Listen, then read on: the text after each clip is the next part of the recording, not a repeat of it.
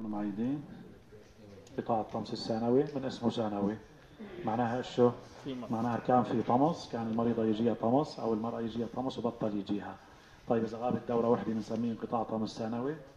أكيد لا. بدنا ننتظر فترة أطول. شد المدة اللي بدنا ننتظرها حتى نسميه انقطاع ممكن ثلاث دورات أو ست شهور حتى نسميه انقطاع طمس ثانوي ثانوي. يعني المريضة كان بالأصل عم يجيها طموس وبطل يجيها طموس. قامت من الشتفة فتعريف انقطاع الطمس الثانوي هو انقطاع الطمس آه، انقطاع الطمس أكثر من ثلاث دورات طمسية أو أكثر من ست شهور عند النساء اللي كان عندهم يصير عندهم دورات طمسية سابقة. إذا إذا المريضة غابت عندها دورة واحدة أكيد هذا ما بنعطيه كثير اهتمام أو دورتين بس صاروا أكثر من ثلاث دورات. هون بنبدأ نسميه بقى هذا انقطاع طمس.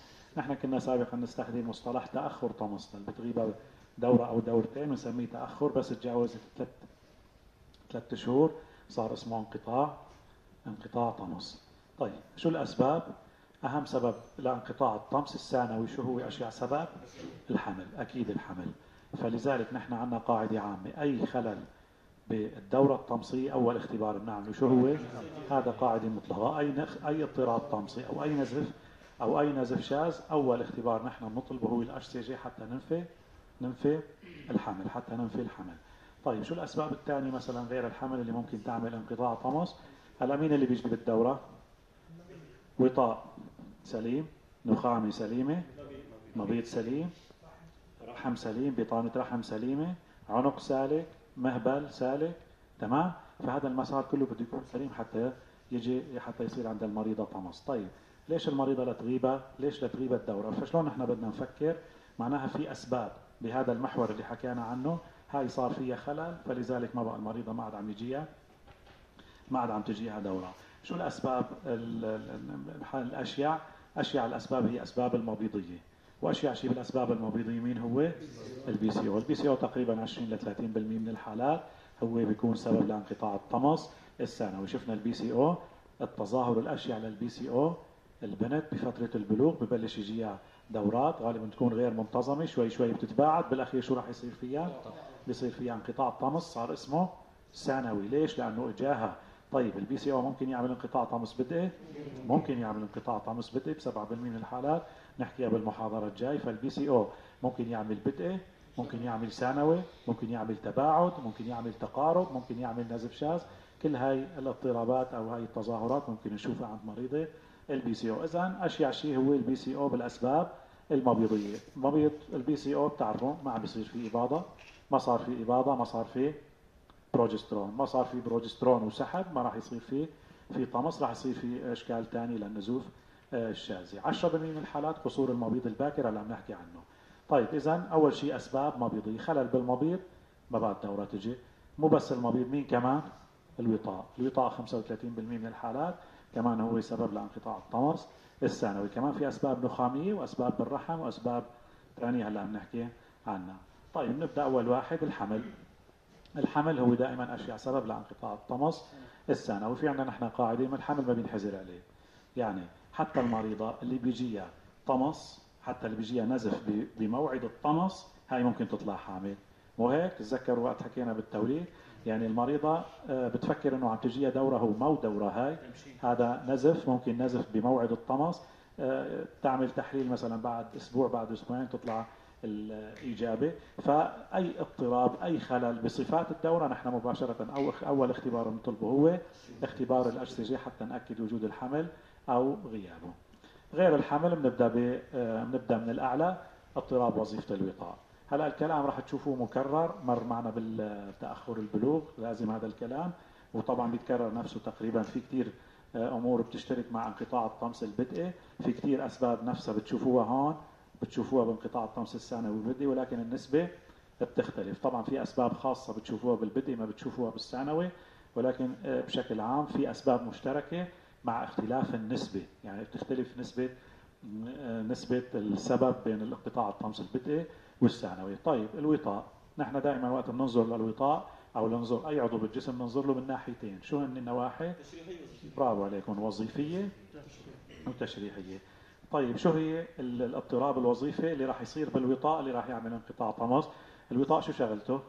افراز ال Gn RH بشكل نبضاني. طيب إذا ما فرز ال GnRH بشكل نبضاني إذا صار في نقص افراز أو افراز غير منتظم شو راح شو النتيجة؟ عمين عم يأثر على النخامة. النخامة شو عم بيصير فيها؟ ما عم ينفرز ال FSH وال LH بشكل جيد. ما انفرز ال FSH بشكل جيد شو راح يصير؟ ما راح تتطور الجريبات. ما راح تتطور الجريبات. مين اللي راح ينقص؟ أي هرمون؟ أستروجين. طيب ما راح يصير إباضة. مين اللي بده ينقص؟ البروجسترون تمام. فهذا بنسميه انقطاع الطمث الوطائي الوظيفي. اذا السبب الأول هو لانقطاع الطمث اللي بدنا نحكي عنه هون هو انقطاع الطمث الوطائي الوظيفي. هذا بصير بنسميه عوز وظيفي.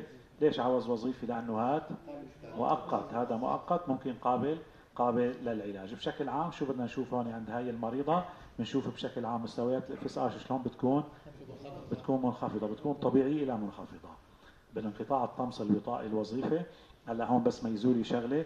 هلا وقت كنا عم نحكي عن تأخر البلوغ البنيوي وعلى عوز ال GnRH الخلقي كان في نقص شديد نقص شديد يعني نفس الطفلة نفس القيم ما قبل البلوغية بتشوفوها بتأخر البلوغ البنيوي وبعوز ال GnRH الخلقي. أما هذا نص على نص. بتلاقوه ممكن تلاقوه منخفض ممكن تلاقوا ال FSH طبيعي. تمام؟ هون ما بيكون التثبيط شديد مثل تأخر البلوغ البنيوي وعوز ال GnRH الخلقي تمام؟ طيب ليش يصير عند المريضه هذا انقطاع الطمث الوطائي الوظيفي؟ شو الأسباب أو عوامل الخطورة؟ مثل العاده يعني ليش لحتى يصير في خلل الإفراز؟ بدنا نفكر دائما بالأسباب اللي نحن بنحكي عنها كثير وبنكررها كثير شو هي؟ الشده نقص الوزن نقص الوزن في فترة قصيرة الحميه الشديدة القهم العصابة. تمام؟ اذا هاي الأمور هاي اللي بتصير بفترة قصيرة آه، يعني ممكن هي تعمل انقطاع الطمس تأثر على أفراز الجين الاش والاخير تعمل انقطاع طمس ثانوي. اذا عوامل الخطورة نقص الوزن تحت ال 10% تقريبا. نقص الوزن خلال فترة قصيرة هدول اللي بيعملوا حمية شديدة بينقص وزنهم خلال شهر أكثر من 10 كيلويات بتلاقيها صار عندها غياب غياب بالطمث. اللي بتعمل رياضة اللي بتلعب رياضة كثير تمارين مجهدة كثير كمان اللي بتتعرض لشدة نفسية أو عاطفية أو أيام الامتحانات أو حتى الأمراض الثانية أو حتى الأمراض الثانية كلها هاي الأمور بتأثر على إفراز ال GnRH في تنازل هون بصير عند البنات اللي بيلعبوا رياضة كثير آه، اسمه ثالوث الفتاة الرياضية اللي هو انقطاع طمث ثانوي مع اضطراب بالأكل. آه، شو الهرمون اللي بينقص النتيجة عندها شو الأستروجين. بس نقص الأستروجين. شو بيعمل؟ هشاشه عظام تمام؟ اذا هدول عوامل خطورة لانقطاع الطمث الوطائي الوظيفي شدة أمراض مزمنة آه، نقص وزن. كل هالأمور هاي عم تأثر على إفراز ال GnRH ما عم تنقصه على الأخير عم تعمل خلل. مجرد خلل أو نقص بالإفراز فالنتيجة عم يطلع عند هاي المريضة هذا انقطاع الطمس بالإضافة لهي الأمور الثانية. تمام؟ اذا هاي عوامل الخطورة. طيب شو في سبب ثاني؟ كمان ممكن نعتبره إنه هذا هو سبب لانقطاع الطمس الوطائي الوظيفي. نقص الليبتين. بتعرفوا شو هذا الليبتين؟ أكيد حكينا عنه. حكينا عنه وقت اللي حكينا عن البلوغ وإنه ليش هلأ صار في الفتيات يدخلوا بسن البلوغ أبكر؟ ليش؟ لأنه زادت نسبة البدانة. مين بيفرز الليبتين؟ الخلايا الشحمية. هلأ الشيء اللي لاحظوه إنه الليبتين ناقص عند هدول المريضات اللي عندهم انقطاع طمث آه، وطائي طبعا بيأثر هو على أفراز ال GnRH. النتيجة النتيجة عم ينقص أفراز الجونادوتروبين وعم تتظاهر عند المريضة انقطاع طمث بالإضافة للاضطرابات الثانية اللي عم تنتج عن نقص الأستروجين. إذا السبب الثاني اللي فينا آه، يعني نعتبره أنه كسبب آه، لانقطاع الطمس الوطائي هو نقص الليبتين طيب العامل الوراثي شو يعني العامل الوراثي؟ العامل الوراثي مثلا أنا عندي آه، بنتين بنتين مثلا وزنهم 90 كل وحده وزنها 90 كيلو ويوميا عم يمارسوا نفس الرياضة ونفس المدة. بنلاقي وحدة صار عندها انقطاع طمس الثاني ما صار عندها انقطاع طمس ففي هون العامل الوراثي بيلعب دور.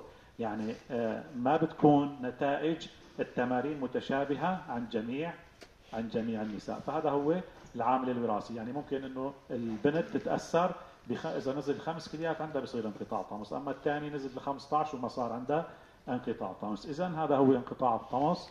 الوطائي الوظيفة مثل ما نكون شايفين عوامل الخطورة بشكل أساسي معروفة وكررناها كثير هو التعرض للشدة التمارين المجهدة القهم أو الاضطرابات بالأكل. آه، وهي يعني فينا نعتبرها الأسباب اللي عم عم تؤدي لحدوث هذا الانقطاع الطمس من هذا النوع اذا هذا بنسميه انقطاع طمس وطائي وظيفي هاي المشكلة الوظيفية. بنجي على النمط الثاني من الأمراض شو راح تكون؟ تشريحي التشريحيه شو هن الأمراض التشريحية اللي بتصيب فكروا بالأمراض. الأورام الوطائيه مثل اللنفوما والورم القحفي البلعومي. مو بس في أورام كمان شو في أمراض؟ شو بتعمل بالوطاء؟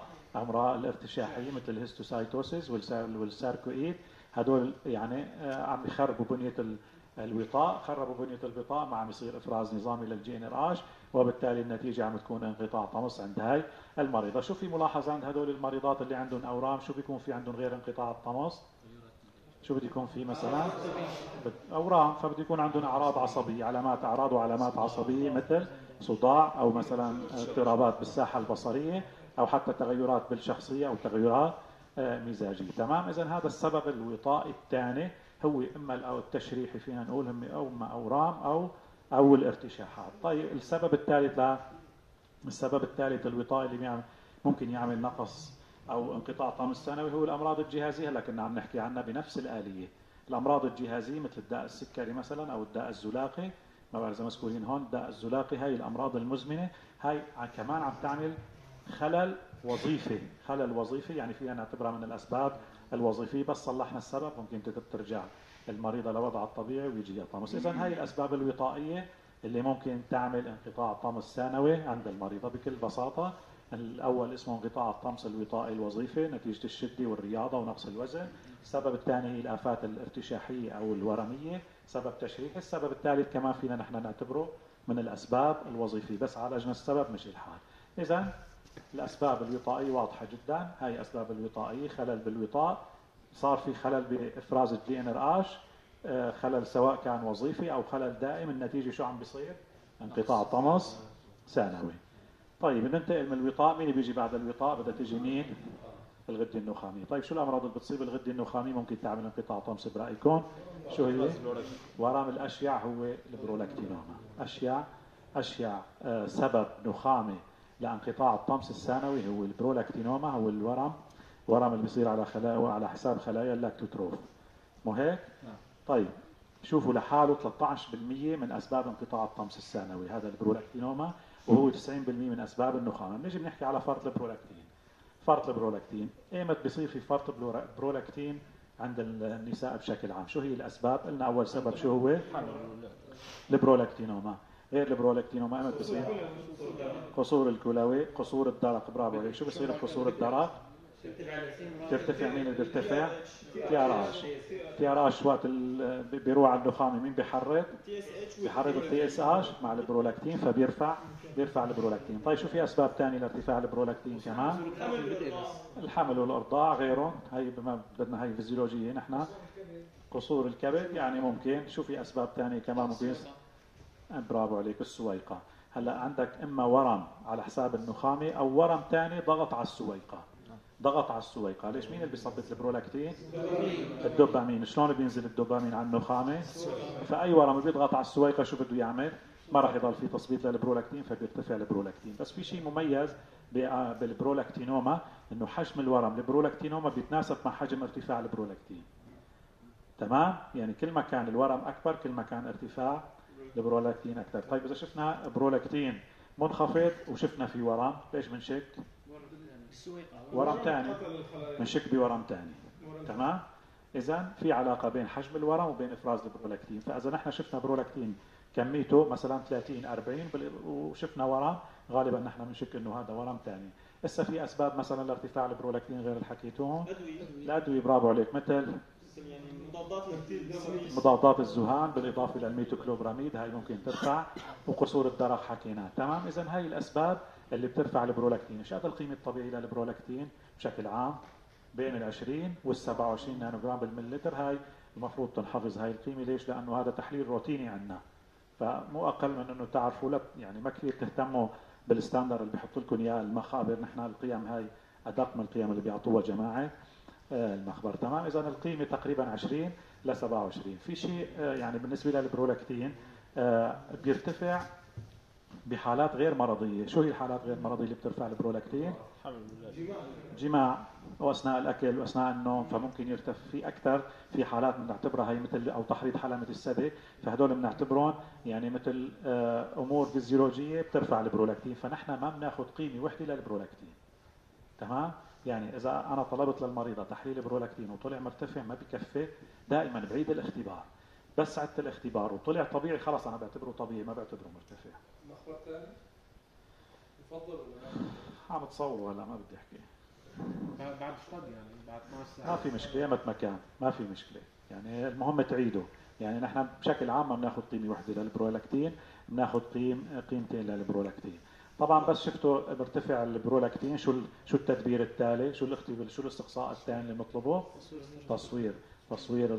تصوير الرنين المغناطيسي للغدة النخامية أو للوطاء. دائما هلا يعني إذا كان الارتفاع بسيط يعني أكيد ما ما راح نطلب مباشرة.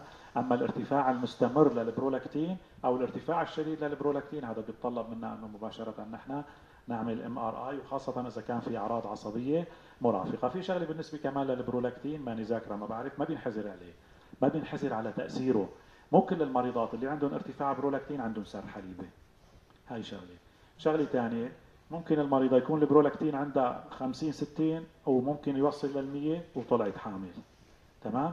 ممكن تكون القيمة 30 وما في حمل. فما بينحزر على تأثير البرولاكتين. يعني نحن ما في علاقة ثابتة بين قيمة ارتفاع البرولاكتين وبين تأثيرها وتثبيطها على الوطاء فكتير نساء بتشوفون هن عم يرضعوا طلعوا حوامل. ليش؟ شلون وفي نساء مثلا إذا كان قيمة البرولاكتين عندهم 30 ما بصير عندهم حمل. فما في علاقة ثابتة بين شدة ارتفاعه وبين تأثيره على على المحور بشكل عام. تمام؟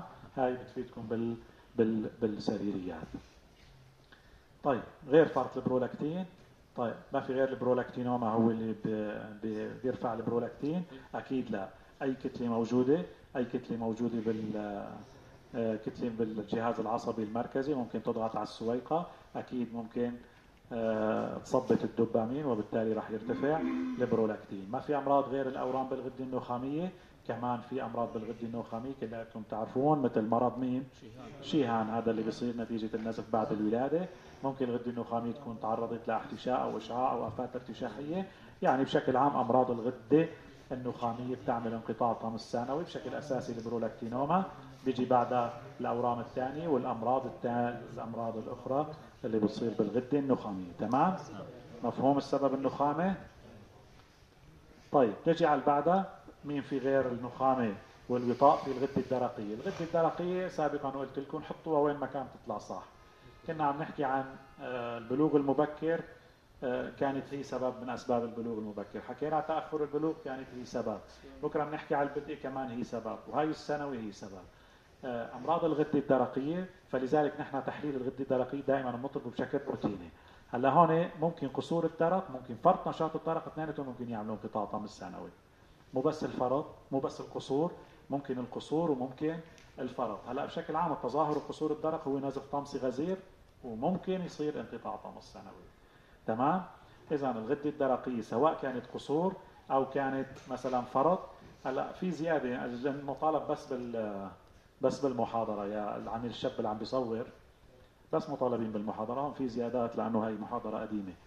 آه، اذا أمراض الغده الدرقيه سواء كانت قصور أو فرط نشاط الفرط النشاط أو القصور الاثنين ممكن يسببوا انقطاع طمث ثانوي التظاهر الأشيع للقصور هو نزف الطمث الغزير ومع هيك ممكن إنه يصير. عند المريض انقطاع طمث. فلذلك الدرق وين ما حطيتها بتزبط بتزبط معك. طيب خلصنا من الدرق جينا على المبيض شو قلنا أشيع سبب بالمبيض ممكن يعمل انقطاع؟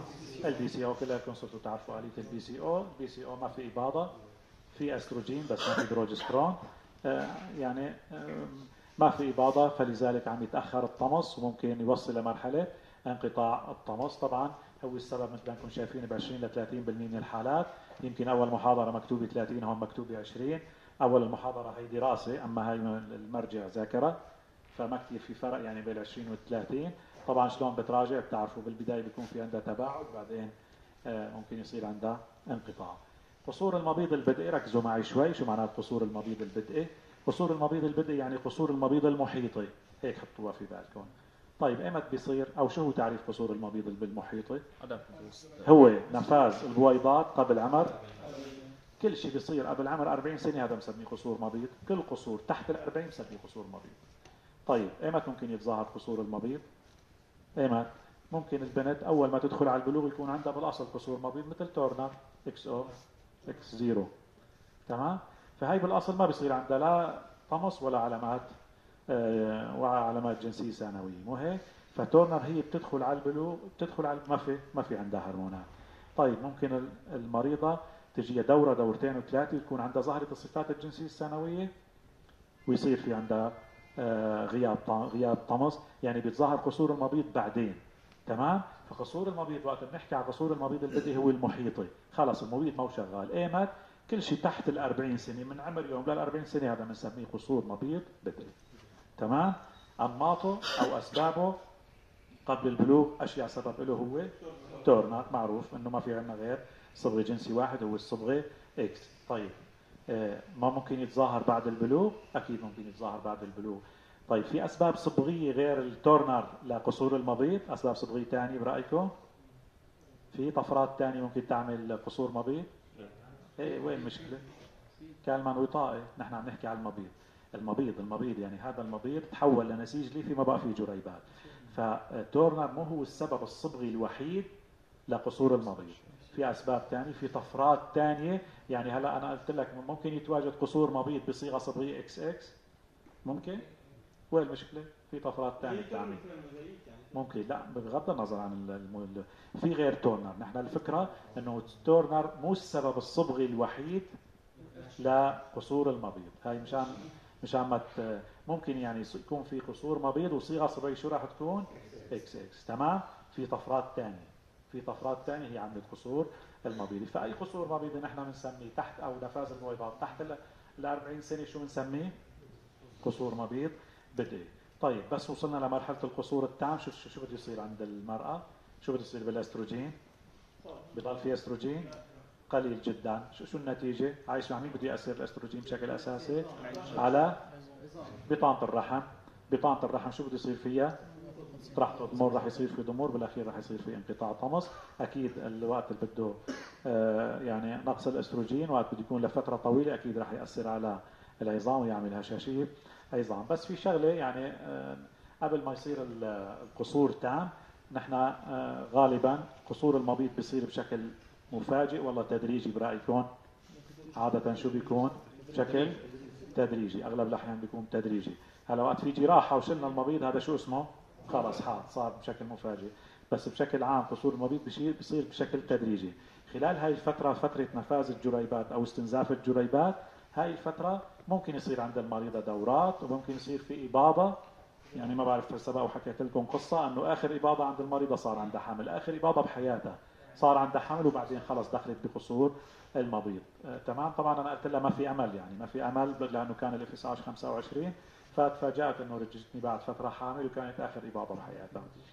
ففي فترة الاستنزاف ممكن يصير عند المريضه إباضات إفرادية. تمام؟ ممكن كل خمس شهور. كل ست شهور يصير في إباضة آه وبالأخير راح توقف الإباضة وراح يتوقف الطمث. طيب الأستروجين شو وضعه عند هاي المريضة؟ نازل. شو تأثيره على ال FSH؟ تلقيم راجع شو بصير بال FSH؟ فنحن بس شفنا FSH مرتفع. وين بيروح تفكيرنا؟ على قصور المبيض. مو هي قصور المبيض اللي اسمه اللي اسمه بدئي تمام؟ اذا هذا هو قصور المبيض البدئي لا كثير تخربطوا إنه بس تورنر أو لا. تورنر سبب صبغي في أسباب صبغية ثانية يعني ممكن يصير قصور مبيض على صيغة صبغية إكس إكس. الأمراض الثانية اللي بتعمل في أمراض مناعة ذاتية أو العلاج الشعاعي أو كيماوي كلها هي تعمل قصور مبيض. طيب خلصنا من المبيض اجى دور مين؟ الرحم. الرحم شو شغلته بالدورة؟ إيش في جوا الرحم بطانه هاي البطانه البطانه السليمة أكيد بدها تعمل دورة سليمة. طيب أما البطانه الغير سليمة رح تعمل طمس نظامي؟ أكيد ما رح تعمل طمس نظامي. طيب شو هو المرض الرحمي اللي ممكن ما يعمل دورة طمسية؟ آشرمان. شو هو آشرمان؟ آشرمان هو عبارة عن يعني تندب بطانة الرحم أو حدوث التصاقات داخل جوف الرحم. شو نتيجة شو؟ تجريف جائر مريضة ولدت بعد ما ولدت ضل عندها بقايا مشيمية جرفنا نحن كان تجريفنا بس ضبط لي قعدتك انت ملام هيك قعدتك. أيوه. آه إذا تندب أو صار في التصاقات وين؟ ضمن جوف الرحم ضمن جوف الرحم غابة البطانة الوظيفية غابة البطانة الجيدة صار في التصاقات تقريبا تسكر ممكن يتسكر جوف الرحم بشكل كامل أو ممكن يتسكر بشكل جزئي صار في التصاقات اللي فيه جوا بقلب الرحم. هذا اسمه آشرمان بعد الولادة أو بعد التجريف نحن عملنا كورتاج شلنا عملنا كورتاج جائر أو صار في إنتام بطانة رحم. النتيجة صارت التصاقات وتسكر جوف الرحم فهذا بنسميه تنازل آه، اشرمان طبعا ما في غيره سبب يعني ما بتوقع في سبب ثاني رحمي يمنع حدوث حدوث الطمس غير هذا آه، التنازل تمام؟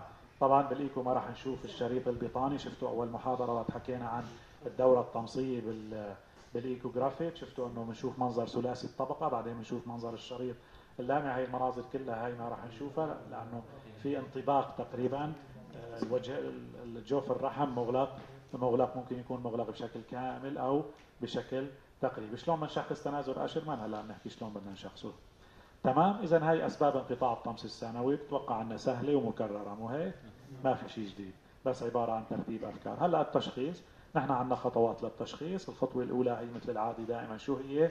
نفي حدوث الحمل. شلون نحن بننفي حدوث الحمل؟ اش سي جي رقمي نطلب اش سي جي رقمي. هلأ المخابر دي يعني ممكن إنه يتهربوا من الرقمي. اطلبوا رقمي اطلبوا عيار كمي رقم. نحن بدنا رقم. ما تقولوا لي إيجابي وسلبي لا أنا بدي رقم بهمني الرقم. الخطوة الثانية هي القصة. السريريه مثل العادي القصة السريريه تعلموا شغله وحده هلا شو الأسئلة اللي بدكم تسالوها للمريضه إجتك مريضة انقطاع طمس ثانوي شو بدها تحط أنت هيك؟ شو الأسئلة؟ يعني خاصة بالبدايات ما بتلاقوا أسئلة تسالوها للمريضه وشوي بتسكتوا وشوي بتسألوا. هذا إجباري يعني مع التكرار بصير اسئله تكون أسهل وموجهه أكثر. شلون أنا بدي أسأل بالقصة السريرية؟ باعتبار ما راح تحضروا عملي كثير شلون أنا بسأل؟ شو الأسئلة اللي بسألها؟ بدي اسال سؤال بتستفيد منه. ما بسأل سؤال أنا ما راح أستفيد. هلا بعد بعد ما نفينا شو بحط في بالي أنا أول شيء؟ بعد ما نفينا الحمل الوطاء إيه. طولوا بالكم. أيوه يعني عليه. القصة السريريه هي عبارة عن البحث عن الأسباب عن السبب الأكثر احتمالا. طيب هلا من شوي كنت عم اعد لكم أنا أسباب. قلنا في أسباب وطائي طيب شو ممكن الأسئلة اللي أسألها أنا على الأسباب في الوطائية؟ شدي أو شدي. برافو عليك. برافو. تمام؟ بس هدول؟ برافو عليك. تمام؟ كان في عندي مشاكل وظيفية ومشاكل تشريحية. الوظيفية شو بدي أسأل؟ شدة نقص وزن تمارين مجهدة أمراض مزمنة تمام؟ هاي بالنسبة لانقطاع الطمث الوظيفي. طيب انقطاع الطمث التشريحي صداع. في مشكلة تشريحية صداع. تمام؟ إذا أنا هيك بسأل. فهاي أنا مثلا أول سبب سألت عنه. مثلا في عندي أسباب شو الأسباب الثانية؟ المبيضيه المبيضيه شو قلنا هن الأسباب المبيضيه PCO. طيب ال PCO عن إيش بدي أسأل؟ شعرانية. حب شباب تغير وزن تمام؟ قصور المبيض شو بدي أسأل؟ ممكن قصة عائلية. شو كمان؟ آه، صار في يعني آخر فترة الطمس صار يتطاول. برافو عليك. مين قال هبات ساخنه برافو. آه، في هلا قصور المبيض وقت اللي بيتظاهر آه، بانقطاع طمس ثانوي غير قصور المبيض اللي بيتظاهر بتأخر. البلوغ تمام؟ يعني هلا الطفل اللي عمرها مثلا 13 سنة وما صار عندها عندها قصور مبيض هي ما عندها هبات سخنة هي بالأصل ما كان عندها أستروجين. أما هاي اللي صار بثانوي كان عندها أستروجين وراح الأستروجين. فوقت اللي بده ينقص الأستروجين بدها تصير كأنه مريضة بأول سن الياس. فبده يصير عندها أعراض سن الياس تمام؟ فهاي المريضة أنا بتسأل عندك هبات سخنة مثلا؟ صار في هبات سخنة؟ شو كمان؟ شو هن الأعراض؟ تسرع في جفاف مهبل تسرع ممكن يصيروا بتعرق تسرع بالقلب أعراض شبيهة لأعراض فرط نشاط الضرر حتى تأخر أو فترة صار يعني اضطرابات بالدورة قبل. ممكن إنه اضطرابات قبل الانقطاع. تمام فهيك أنا بسأل. أنا هيك بتوجه بالقصة السريرية. طيب شو في عندي أسباب كمان قصور درق إيه شو هني أعراض قصور الدرق شو عايش بدك تسالها البرودة عدم تحمل الوزن الوزمات زيادة الوزن البرودة آه، إيش في كمان؟ خمول فرط نشاط الدرق بالعكس كمان الرجفة تسرع التعرق هالأمور هاي كلها بدنا نسال؟ فنحن هيك المريضة عم تاخذ أدوية، إيش شو الدواء عم تاخذي؟ عم تاخذي شيء أدوية، أنا بعرف إنه الأدوية بترفع برولاكتين، بسأل على الأدوية اللي بترفع البرو، عم تاخذي شيء أدوية؟ عم تاخذ أدوية نفسيها، معناتها هذا هو اللي رفع البرولاكتين. تمام؟ هي هي القصة السريرية. بعرف السبب من خلال السبب أنا بستنتج الأسئلة، ما بدي يعني بدها تكون أسئلتي سريعة، أنا ما عندي- يعني بدي ضل ساعتين من بين ما أتذكر السؤال وأتذكر. أنا مباشر بحط السبب في بالي بسأل عنه، بحط السبب في بالي بسأل عنه. طيب شكيت بالبرولاكتين شو بدي أسأل؟ ارتفاع البرولاكتين سر حليبي برافو عليك. كثير هذا السؤال روتيني بالنسبة لنا سر حليبي إذا عم تستخدم أدوية إذا في أعراض عصبية. ليش البرولاكتينول ممكن يعمل أعراض عصبية؟ أو حتى الأورام الثانية اللي بتضغط على السويقه ما بتعمل أعراض وعلامات عصبية. تمام؟ إذا هذا هو بشكل عام هاي هي القصة السريرية. أكيد ما راح متخيل شي مرة أكتب لكم أكتب ما تعرفوا على القصة السريرية. بجيب لكم هيك سؤال مثلا؟ طيب ننتقل من القصة السريرية بيجي بعد القصة شو هو؟ مثل العادة. فحص فيزيائي. فحص الفيزيائي لتأخر البلوغ. والبلوغ المبكر وانقطاع الطمث البدئي والثانوي تقريبا متشابه. في تشابه كثير نحن عندنا شغلات روتينية. شو هي؟ طول الوزن حساب ال BMI وطول الباع. هدول روتينيات. هدول تقريبا هدول فينا نعتبرهم إنه هدول روتينيات. طيب غير هدول الروتينيات بدنا نحن نفحص شغلات يعني آه، في عندنا أسباب بدنا ندور عليها. مثلا ال PCO إيش بدي ادور؟ دور شعراني دور أحسب لها ال BMI تمام؟ شعرانيه حب شباب ممكن شواك أسود أو تشققات هي بالمراحل المتقدمة. سر حليبي مريضة البرولكتين سر حليبي نحن ما بنكتفي بكلام المريضة إنه عندها سر حليبي أو لا. نفحص كل مريضة نحن بتجينا كل مريضة عقم أو انقطاع طمس هي بنفحصها بنفحص الثدي حتى نتأكد إذا عندها سر حليبي ممكن السر الحليبي ما يكون ظاهر على المريضة. مجرد الضغط على الثدي بصير عندها سر حليبي. طيب قلنا في قصور مبيض وفي هبات سخنه وكذا كمان ممكن نفحص نسائي ونشوف إذا في عندها علامات جفاف المهبل أو جفاف الفرج. تمام؟ اذا هذا هو الفحص الفيزيائي اللي بيلزمكم بالأمور بال بال بالسريريات خلصنا فحص فيزيائي. شو بدنا شو الخطوة اللي بعدها؟ اجى دور مين؟ حسب القصة. تحاليل. تحاليل. عندنا روتين. نحن مباشر. بس شخصنا. انقطاع الطمث الثانوي بننفي الحمل وبقى بنبلش من نطلب التحاليل الروتينيه شو هن الروتينيات اللي بنطلبهم TSH برولاكتين و FSH و والرابع شو هو؟ استروجين برافو عليك. نحن ما بنفسر ال FSH بدون الأستروجين.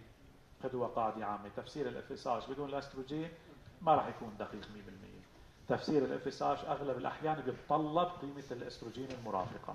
تمام؟ طيب المريضه اللي عندها أعراض اندروجينيه يعني مريضه ال PCO شو بتطلب لزياده total testosterone 17 ال DHEA متى بتطلب ال DHEA DHEAS لا. خلص إذا عندك عندك استرجاع إذا عندك أعراض شديدة تطلب الدهيا تمام؟ اذا هاي التحاليل المخبرية اللي بدنا نطلبها لمريضة انقطاع الطمس الثانوي وقفنا هون وخلصنا؟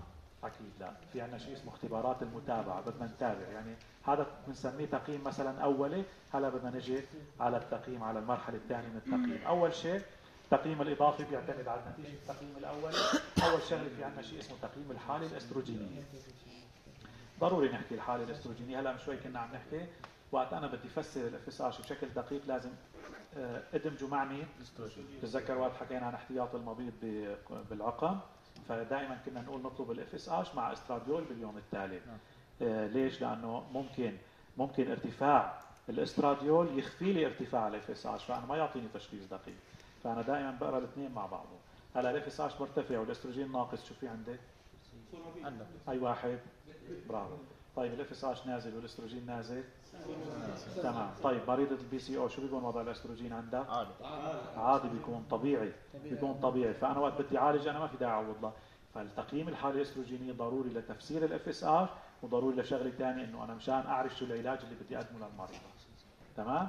إذا تقييم الحاله الاستروجينيه شلون نحن بنقيم الحاله الاستروجينيه بكل بساطة؟ إما تحليل. طب تحليل أو.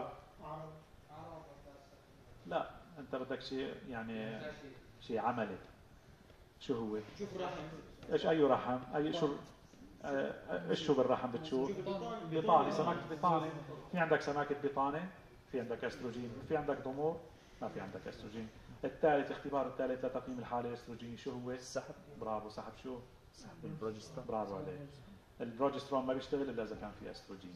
في عندك أستروجين أعطيته بروجسترون صار في طمث أما إذا ما في أستروجين وأعطيته بروجسترون ما راح يصير شيء تمام؟ إذا هذا هو تقييم الحالة الأستروجينية.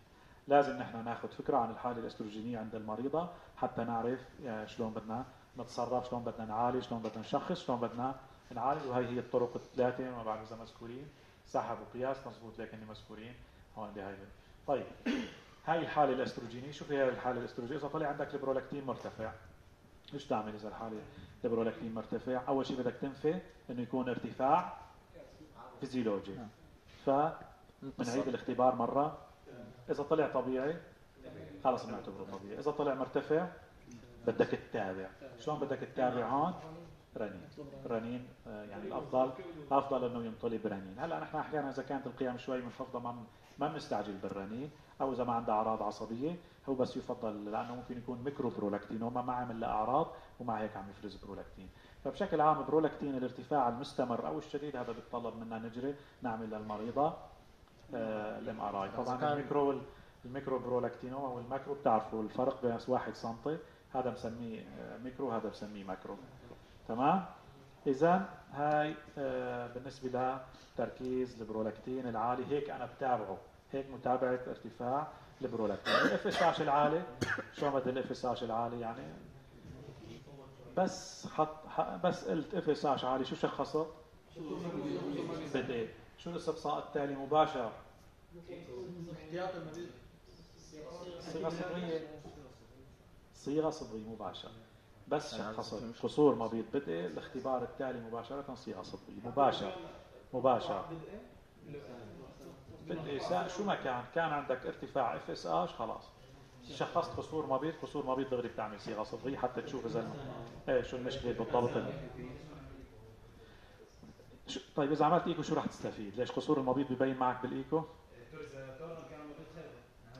إيه هلا يعني في شغلة الايكو راح يعطيك دقة أحيانا ما ببين معنا المبيض يعني نحن بالإيكو أحيانا ما ببين معنا المبيض مو كل الاحيان ببين دكتور ليش نعمل بالثانوي؟ ها ليش نعمل بالثانوي؟ شو؟ شو؟ يعني مو قلنا قصور المبيض تحت ال 40 كل شيء تحت ال 40 هذا اسمه قصور مبيض بدئي اللي إحنا إيه. ما شرط تورنر ما قلت لك في طفرات ثانية طيب. إذا كل هالحكي اللي حكيناه طلع طبيعي وفي عندنا قصة تداخل على الرحم. شو شخص شو بدنا نشيك؟ اشرمان إيه طيب هذا اشرمان شلون بدي شخصه؟ بالصورة الظليلة قبل الصورة الظليلة يعني الصورة الظليلة ممكن تجي مع قبل نحن يعني آه، في أبسط من الصورة الظليلة في عندنا شيء اسمه اختبارات. شو هن اختبارات؟ السحب اللي عندنا نحن بالنسائي عندنا اختبارين. أول اختبار اسمه اختبار سحب. دائما نبدا بالبروجسترون نعطي البروجسترون 10 أيام آه، دواء اسمه جستروميد هذول مطلوبين. هذول اختبارات مرة جبتهم سؤال. فرنسي جبته فمطلوبين هدول ليش؟ لأنه شائعين كثير ها؟ الدواء. التجاري اسمه جستروميد. جستروميد تجاريين بس الاسم العلمي اسمه hydroxyprogesterone acetate تمام؟ اذا أشرمان. أشرمان أنا بدي أعمل اختبارات. أول اختبار اسمه اختبار البروجسترون. يعني أحيانا في مريضة بغض النظر إن كانت اشرمان عشان عندها انقطاع طمث أنا بدي أجيب لها دورة. مريضة ال PCO نفسها. مريض ال PCO إذا دورتها إذا طولت كثير أنا ممكن أعمل اختبار سحب. ما بعرف إذا مذكور بالمحاضرة. نعطي مثلا 7 ل 10 أيام بروجسترون. مو عندها أستروجين؟ طالما أستروجين عندها فاختبار البروجسترون لازم يطلع. لازم تجي الدورة. لازم يجي الطمث طبعا. مو هيك؟ طيب هلأ هون آه، أعطيت.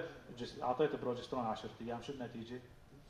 انتظرت سبعة أيام. راح يصير في طمث؟ لا. ما في بطانة. ما في بطانة. طيب هذا سلبي. بيجي على الاختبار اللي بعده شو هو؟ استروجين زائد بروجسترون وبعطي الأستروجين لفترة طويلة. بعطيه 35 يوم. ليش؟ بدي رمم البطانة. بدي اعطيها أكبر فرصة لحتى تترمم. بعطي 35 يوم أستروجين. وآخر 10 أيام ضيف بروجسترون بعد اليوم 35 خلص 35 وقفت معناتها صار في سحب. المفروض تجي الدورة بعد. ما إجت. ما إجت. مش لي بطاني. 10 ليش؟ لأنه ما في بطانه حتى لو أعطيت استروجين ما ترمم اذا هاي اختبارات اسمها تشخيص تناذر اشرمان اختبار البروجسترون بيجي بعده اختبار. الاستروجين زائد زائد البروجسترون واثنيناتهم بيطلعوا سلبيات. بس طلعوا سلبيات بنتقل للاستقصاء ال- الدق الأدق اللي هو تنظير باطن الرحم منشان نشوف الالتصاقات بعيننا حتى ممكن يكون علاجي. طبعا ما عندنا هاي الإجراءات نحن للأسف. تمام؟ اذا هذا هو تشخيص تناذر اشرمان عندي اختبارين. الأول اسمه اختبار البروجسترون. طبعا الأستروجين اللي بيستخدمه هو ال conjugated estrogen 0.625 أو 1.25 هذا اسمه التجاري بينارين أو بريمارين. ضروري تعرفوا هاي الأدوية لأنه كثير نحن بنستخدمها. في لها استخدام كثير آه، بعياداتنا. تركيز الأندروجين المرتفع أنا لازم ما أحكي ولا كلمة. إذا شفتوا الأندروجين مرتفع بس مرتفع شوي. إذا مرتفع بشكل أورام. بس ح- كانت القيمة أكثر من 150 للتستوستيرون. بدكم تشكوا بالأورام. كملوا استقصاءات. كملوا استقصاءات. بدكم تدوروا على أورام مبيض أورام كذا نفس الشيء الديهياس إذا كان أكثر من 700 طيب تعالوا نلخص البحث بالكامل. هاي تلخيص البحث بالكامل. مريضة انقطاع طمس سنوي بنبدأ بإيش؟ بالقصة. ها أهم شغلات بالقصة السريرية تغيرات وزن انقطاع طمس وطائي اضطرابات الأكل وطائي وظيفة وطائي وظيفة تمارين سر حليبي برولاكتين هبات سخنة قصور مبيض حب شباب شعراني بي سي أو مرض جهازي انقطاع طمس وطائي قصة تداخل على الرحم اشرمان ها كم كلمة مختصرين هال كل شيء حكيناه. شايفين المخططات أصلا الطب هو مخططات هيك. هاي أحلى شيء بالطب هذا. هذا اللي بيخلينا هلأ حكينا الأسباب وحكينا حكينا بجوز نضيع بس وقت ندمجهم هيك أكيد راح يتركز المعلومة أكثر. تمام؟ طيب الفحص السريري طلع عنا BMI مثلا إما راح يطلع منخفض أو راح تطلع BMI مرتفعه أو راح نشوف علامات فرط اندروجين أو راح نشوف ثر حليبي طبعا لسه ممكن نشوف في شغلات ثانية هدول مختصرين. مو هيك؟ غير الفحص السريري التحاليل قلنا هدول هن بعد نفي الحمل. عندي هدول الأربعة اف اس اش تي اس اش برولاكتين استراديول نبدأ وحدة وحدة. برولاكتين مرتفع. شو الخطوة الثانية؟ طلع مرتفع. MRI طلع طبيعي. جينا على طيب خلصنا بالبرولاكتين جينا على ال TSH طلع غير طبيعي سواء فرط سواء قصور. عالج. قيم الغدة الدرقية وعالج. القصور بتعالج بالتعويض بالتيروكسين الفرط بإيش بتعالجه؟ بالميتيمازول واليوراسيل إذا إذا طلع ال TSH غير طبيعي قيم الغدة واشتغل على الغدة الدرقية. طيب طلع طبيعي لوين بنروح بقى؟ ال FSH طلع مرتفع ال FSH دغري بروح فكرك لقصور المبيض مباشر. قصور مبيض إيه؟ صيغة صبغية ضل أسهل من هيك؟ طيب ال FSH طبيعي أو منخفض هذا الخيار الأخير. ال- طيب الخيار الأخير هو FSH طبيعي أو منخفض ضل التشخيص اللي ما ذكرناها يعني مو ارتفاع برولاكتين مو أمراض درق مو قصور مبيض شو ضل؟ ضل عندنا آه، قصور ال- الاقناد أو انقطاع الطمث الوطائي الوظيفي أو ال PCO أو آشرمان شلون بدنا نميز بيناتهم هون؟ هون بنطلب الاستروجين تمام؟ فأنا قلت لكم وقت اللي بدي أفسر ال FSH دائما بحاول أفسره بوجود بوجود الأستروجين طيب الاستروجين منخفض وهذا طبيعي لا منخفض. وين بنشوف هاي الحالة؟ بانقطاعات الطمث؟ والوطائي في مشكلة بالوطاء. في مشكلة بالوطاء أو أو وخاصه الوظيفة أو الأمراض الجهازية أو حتى الاضطرابات الأخرى. بس شخصنا هدول مشان نأكد شو بدنا نطلب؟ رنين حتى ننفي وجود الأورام. ماشي؟ إذا FSH طبيعي أو منخفض طلبت إستروجين. طلع منخفض بمشي باتجاه انقطاع الطمث الوطائي وأسباب الوطائية. بدي انفي الأورام بال MR لك لازم نمشي كلها المخطط إذا مثلا لا لا لا. إذا لا. القصة وجهتنا لا. إذا قصه وجهتك أكيد ما بس أنا أنت عم تحكي عن بحث كامل. هلا بس تجيك المريضه دغري بتتوجه لسبب معين بتشتغل عليه. تمام؟ طيب. إذا الأستروجين ما طلع. طلع طبيعي. طلع ال FSH طبيعي لا منخفض بقى هون ضل عندي تشخيصين هن ال PCO والأشرمان. ماشي شلون بدي ميز بيناتهم؟ بين ال PCO والأشرمان؟ أكيد ال PCO شو في؟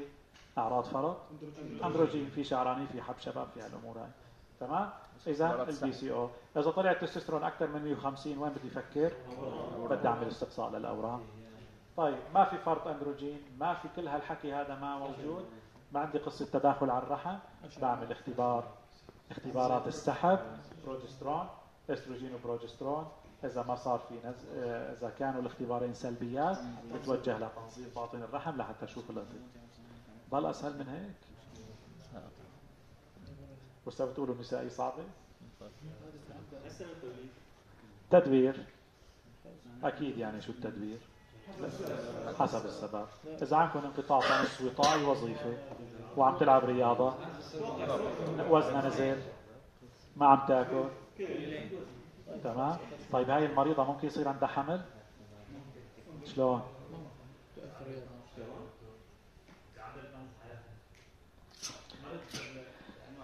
طيب ممكن إنه ما ما يعني ضل في انقطاع عندها انقطاع طمس تجي تجي حالات امراض انفراديه ولا اوقات تجيها يعني ممكن ما فيني أنا ساعدها من حال هذا الاستروجين موجود أو لا. ونستخدم مثل شو بستخدم؟ بستخدم شي شغلة شو؟ يعني سؤال سؤال. انقطاع الطمس الوطائي الوظيفي شو هو الناقص الهرمون الناقص؟ إذا اعطيته إذا أعطيته بشكل نباتي عوضه عوض الجين الجونادوتروبين حرض لإباضة يعني هاي ممكن تحرض لإباضة بإعادة الهرمونات. هاي الفكرة. تمام؟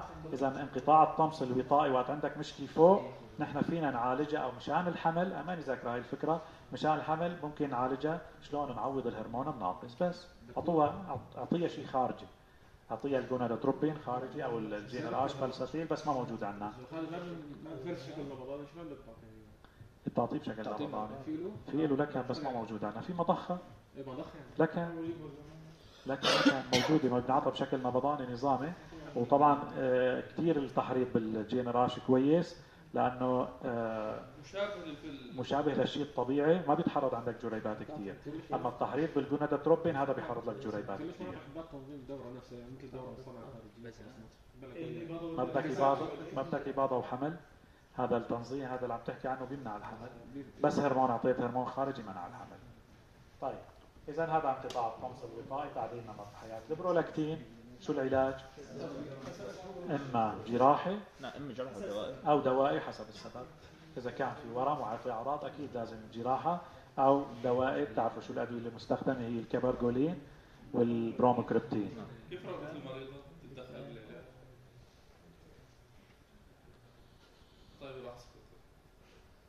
في فيديو في فيديو. يعني مريضة عندها ورم وخير الدكتور بين انه تشيله وبين لا. ما بدها تشيله.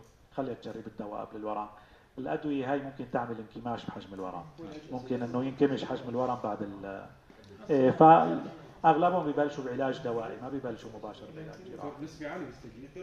يستجيب. يستجيب يستجيب في استجابة كويسة. ممكن يروح على الأخير إذا كان حجمه صغير. الأحجام الكبيرة عادة ما بتروح. بينكمش بس هو بينكمش على العلاج. هيك شيء. في هيك شيء. طيب علاج القصور المبيض الباكر. استروجين كمان إذا عنده أعراض بس ما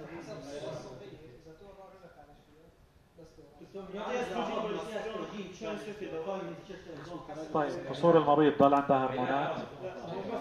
عوض لها اياهم شو بدك تعوض لها؟ خلاص بس هون بيفرق عن علاج تأخر البلوغ. يعني إذا تظاهر قصور المبيض قبل البلوغ شو بدك تعمل بالأول؟ حرض البلوغ. حرض البلوغ.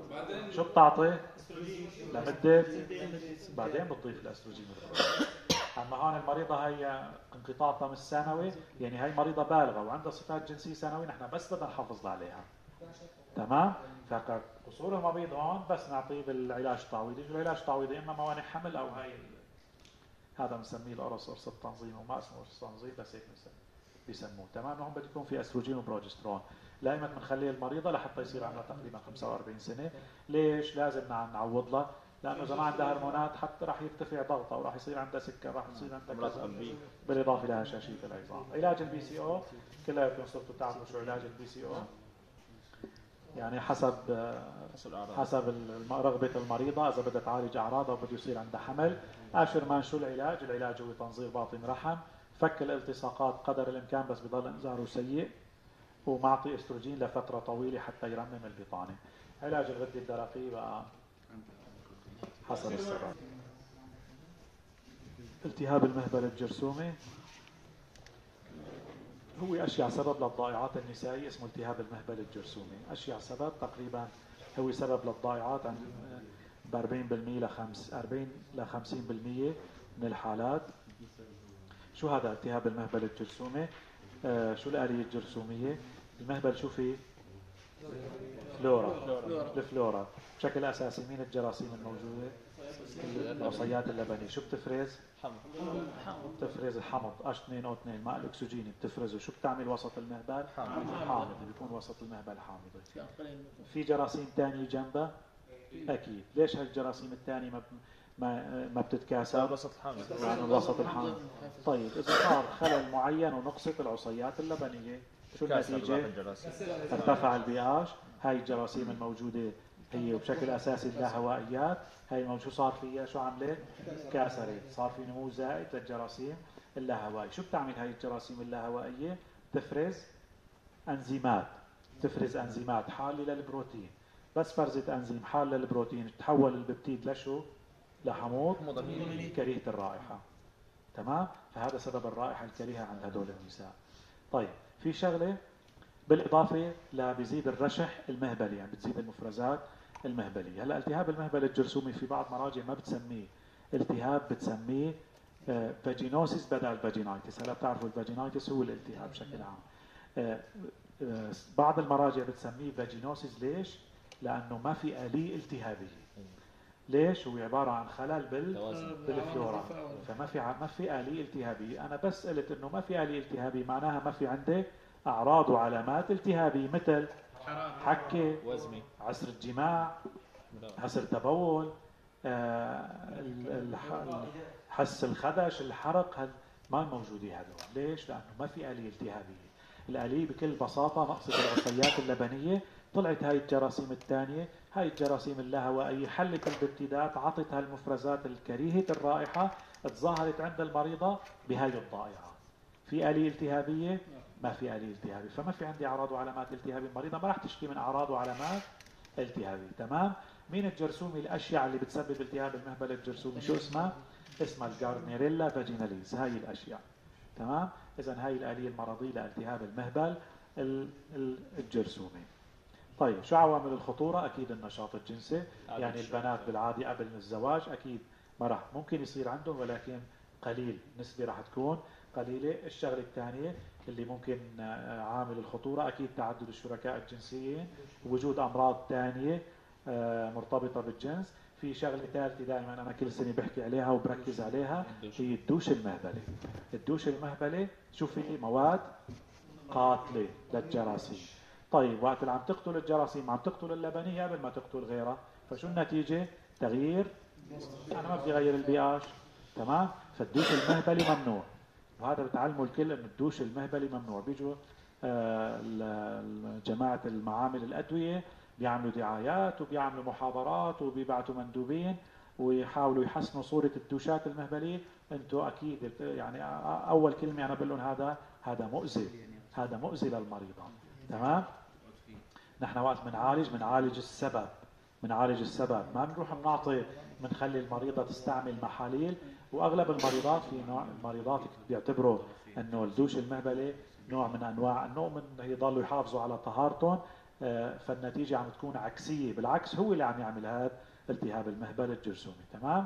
اذا خذوا قاعدة عامة الدوش المهبلي أو هي يسموها المغاطس. يجوا بيحطوا هاي كمية معينة مثلا بمي فاتره وبيقعدوا فيها هاي عم تغير الفلورا. بس غيرت الفلورا أنت سمحت لهذا النمط من ال- التهابات المهبل يصير عند المريضه تمام؟ اذا هاي عوامل الخطورة. المظاهر السريرية التدخين اذا بيحطوه بكل شيء التدخين إلا بالانسمام. مظاهر السريرية إيش هو المظاهر السريرية؟ برأيكم هذا عرضي هذا المرض؟ والله بتحسوه إنه مرض لطيف خفيف ما هو هو هالمرض المزعج. فالأغلب إنه يكون عرضي ولا لا عرضي. على الاغلب انه 50 ل 75% لا عرضي. نسبه كبيره بيكون يعني المريضة ما بتحس عليه ممكن نحن نكشفه بالاستقصاءات طيب أما المريضة العرضية من إيش بتشكي برايكم؟ فهمنا الآلية ضائعات شو صفات الضائعات؟ كريهه الرائحة. في حل الببتيدات عم تطلع الحموض الأمينية. بتعرفوا ريحة الحموض الأمينية شدها مزعجه ريحة شبيهة بريحة السمك. بتشتكي منها المريض بتقول لك ريحة مثل ريحة السمك وخاصة بعد الجماع أو حتى أثناء الطمس. طيب شو لها صفات ثانية الضائعات آه، شو رايكم هاي الضائعات؟ بتكون هيك يعني بتكون آه، اللون ما في اللون أبيض لا رمادي. شلون بتلتصق بجدار المهبل؟ بشكل شديد ولا بشكل أملس؟ بشكل لطيف؟ بشكل لطيف. ما في آلية التهابية. وقت. في آلية التهابية بتلتصق, بشدة مثل مبيضات البيض. مبيضات البيض بتجي أنت بتحاول تشيلها بتلاقي تحتها احمرار هي ما في تحتها ما في آلية التهابية تمام؟ إذا صفات الضائعات غالبا أنه أول شيء بيقول لها عرضي. المريضة العرضية بيكون عندها ضائعات ملساء رقيقة بيضاء يا رمادية إلى ريحة السمك تلتصق بجدار المهبل آه، ما في عسر تبول ما في حكة ما في حرقة ما في أعراض التهابية ما في وجود هاي الأعراض. شو بده يوجهني لوجود؟ انتان تاني انتان محترم تمام؟ العنق لا يصاب. عادة ها بيصيب العادة هاي الجراثيم موجودة بمحاطية المهبل فبتنصاب خلايا الظهرية اللي بتبطن المهبل. تمام؟ إذا هاي المظاهر السريرية لالتهاب المهبل الجرثومي النتائج أو الاختلاطات طبعا يعتبر عامل خطورة للولادة المبكرة عند الحامل. تغيير الفلورا ممكن يكون عامل خطورة. ممكن يعمل حمى النفاس بعد الولادة أو أنتان بعد الإسقاط يأهب للإنتان بعد الإسقاط بعد استئصال الرحم ممكن يعمل إنتان قبة مهبل يزيد قابلية الإصابة بالإنتانات المنقولة عن طريق الجنس التشخيص المهم هذا الأهم. في عندنا شيء اسمه معايير أمثل. شو هي معايير أمثل؟ بكل بساطة الحكي اللي حكيته أنا هلأ بدي أحطه بمعايير. شو هني معايير أمثل؟ أنا في عندي أربع معايير بكفي ثلاثة من أربعة. شو هن ثلاثة من الأربعة؟ أول صفة ضائعات. شو صفاتها؟ لونها؟ بيضاء إلى رمادية. شو بتعمل؟ بتغطي أو بتبطن آه، بتغطي جدران المهبل بشكل ناعم بشكل أملس شو يعني بشكل أملس يعني أنا إذا جبت أي أداة من هدول اللي يكون براسة قطني مثلا آه، حاولت آخذ شوي من الضائعات ما بتترك تحت ما بتترك تحتها شيء ابدا. تمام؟ هدول المريضات دائما يشكون إنه عندها ضائعات حليبية غزيرة عندها ضائعات وغير حاكه ما عندها حكة فهذا لالتهاب المهبل الجرثومي اذا أول معيار هو الضائعات البيضاء الرقيقة اللي بتغطي جدران المهبل بشكل أملاس. ال pH شو بده يصير فيه؟ مرتفع. بده يصير أكثر من أربعة ونص بده يرتفع. ليش؟ لأنه نقصت العصيات اللبنية ونقص الحمض الموجود جوا. الاختبار الثالث اسمه اختبار ال whiff amine أو اختبار بسموه النفحة. مو هيك؟ النفحة. اختبار شو هذا الاختبار؟ بناخذ عينات من الضائعات بنحطها على شريحة بنضيف لها ال KOH بس ضفت لها ال KOH بتطلع ريحه مزعجه جدا مثل ريحة السمك هذا اسمه اختبار الوف أمين. هذا المعيار الثالث. المعيار الرابع هو آه، المفروض نحن كيف بدنا نقيم مريض الضائعات. طبعا الشغل اللي بتشوفوه عندنا بالعيادات هذا شغل ما هو علمي. نحن لو نشتغل شيء علمي نستخدم هاي الأوراق اللي بتعطيني قيمة بي آش. بعمل هذا الاختبار اللي اسمه اختبار النفحة الوف أمين. الشغله الثالثه بعمل مستحضرات باخذ مستحضرات باخذ هذه الضائعات بحطها على شريحه بروح بشوفها على مجهر تحت المجهر اسمها مستحضرات رطبة. شو لازم أشوف بالمستحضرات الرطبة؟ بدي أشوف أنا هاي الخلايا اللي, قلت اسمها الجاردنيريلا هاي الجاردنيريلا آه بتحيط بشكل كامل بالخلايا الظهرية للمهبل. لاحظوا شكلها شلون؟ شايفين هاي النقط هاي هي خلايا هاي الجراثيم الجاردنيريلا وشلون مغطية تقريبا آه، الخلايا الظهريه الموجودة بالمهبل. فعندنا بنسميها؟ هاي الخلايا خلايا الكلوسل أو الخلايا المفتاحية هيك بنسميها. تمام؟ طيب. شو هو الشرط لحتى لحتى نعتبره معيار من معايير أمثل؟ لازم خلايا الكلوسل تكون على الأقل 20 أكثر من 20% تمام؟ اذا هذا هو المعيار الرابع. أول معيار صفة الضائعات الملساء الفي اش بده يكون باتجاه القلوي ما بيوصل للقلوي بس بيكون أكثر من أربعة ونص. اختبار الوف أمين بيكون إيجابي أو اختبار النفحة أو راحة السمك الشغلة الرابعة هي خلايا الكلوسيل بدها تغطي بدها تكون تقريبا أكثر من 20 من 20% لحتى نعتبرها معيار من معايير. امثل بكفي طبعا ثلاثة من أربعة. شوفوا حساسيته. جيدة جدا حساسية هذا المعايير 90% ونوعيته تقريبا 77 إذا التشخيص نحن بنشخص بشكل أساسي بناء على معايير امثل مشي؟ طيب صبغه صبغة الجرام معقول كل مريضه عندها التهاب مهبل جرثومي نروح نعملها صبغه إيه، كل النساء عندها التهاب مهبل فهذا اختبار مو عملي. يعني بس هو هو الأدق وقت صبغة جرام طبعا هو نعتبره طريقة معيارية بس مو عملية هي الطريقة. فما بنلجأ له. حتى الزرع مو معقول كل مريضه عندها شوية خلل بالفلورا نروح نعمل لها زرع. ال cytology أو هاي لطاخة بابانيكولا هاي للعنق. قلنا لا يصاب العنق فكمان ما راح ما راح تكون موثوقة بتشخيص التهاب المهبل الجرثومي إذا بشكل أساسي معايير Amsel وهي الصورة. تشخيص التفريقي يعني الأمراض الثانية اللي بتسبب ضائعات وخاصة داء المشعرات والتهاب المهبل الضموري والتقشري هدول الضموري بنشوفه نحن بعد سن اليأس وداء المشيرات بنحكي عنه بوقته. العلاج. ما ممكن يشفى بشكل عفوي؟ ما هو خلل فلورا. ما ممكن يشفى بشكل عفوي. خلل فلورا. في عندكم أسباب وقفوا هي الأسباب مثلا. فممكن يصير في. مين بنعالج؟ أكيد المريضه العرضيه لازم نعالجها؟ لازم. المريضه اللا عرضيه بنعالجها؟ لا. إلا إذا في عامل خطورة مثلا. تمام؟ فالعلاج يستطب لجميع المريضات العرضيات أو المريضات اللا عرضيات قبل الإسقاط وقبل الاستئصال حتى ما يصير في اختلاطات تالية فبشكل عام نحن المريضة اللا عرضية ما بنعالجها اكتشفناها بالصدفة. أما المريضة العرضية هي المنعالجة شو العلاج؟ جدا سهل. وعلاج الحامل وغير الحامل تقريبا نفسه. وما في مقاومة عليه هو المترونيدازول الفلاجيل. لا هي باعتبار أنه الجراثيم الأساسية هي لا هوائيات فالمترونيدازول هو العلاج الأساسي. طبعا نحن بعلاج إنتانات المهبل دائما نفضل العلاج الفموي على الموضعي. إذا بجوز, أنتم انتبهتوا أنه العلاج الموضعي أكثر. أكثر استخداما ولا العلاج الصحيح هو الفموي المترونيدازول ما بيأثر على الحمل. فنحن ممكن نستخدمه عند الحامل شد الجرعه 500 ملغ مرتين لمدة سبعة أيام. شو الخيار البديل؟ الكليندامايسين سواء فموي أو ممكن يستخدم كريم. نحن عادة نستخدم نطلب من المريضة تستخدم الكريم أو البويضات المهبلية دائما مساء قبل النوم بشكل عام. هي قاعدة عامة. اذا هو الخيار الثاني هو الكليندا. مايسين ما في داعي لعلاج الشريك لأنه ما بينتقل للزوج لا يعتبر من الأمراض المنتقلة عن طريق الجنس. تمام؟ مو يعني هو بالأصل موجود هو تغيير فلورا مو مرض منتقل عن طريق الجنس. آه، اذا ما في ضرورة لمعالجة الشريك. يجب تجنب الغسولات المهبلية. برجع بكرر يجب تجنب. إذا نكس شو رأيكم؟ شو العلاج؟ نفسه. ما في مقاومة له نفسه بنرجع نفس الشوط تقريبا سبعة آه، يعني مدة سبعة أيام. إذا نكس كثير بالسنة مثلا ثلاث مرات أو أربع مرات هذا صار بنعتبره أنه عم ينكس كثير نرجع بنطبق نفس الشوط ولكن بنصير بنعطيه بشكل متقطع لمدة أربع لست شهور. نعطي بشكل متقطع. إذا العلاج نفسه آه كل ما نكس أكثر ممكن نكرر يتكرر آه عطائه أكثر وأكثر. تمام؟ علاج الحامل نفس الشيء. مترونيدازول 500 مرتين باليوم. أو الكليندامايسين 300 ملغ لمدة سبع أيام وما في ضرورة لمسح أو علاج جميع الحوامل اللا عرضيات خالصين.